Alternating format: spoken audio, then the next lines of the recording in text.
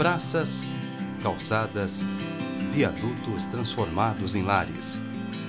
A vida dos moradores de rua de Porto Alegre. A sobrevivência cotidiana. Tendo saúde, eu sou rico. Tem muita gente com riqueza e não tem saúde. Eu me sinto rico. A ajuda que recebem e o que dizem os pesquisadores sociais. TVE Repórter, quarta, oito e meia da noite.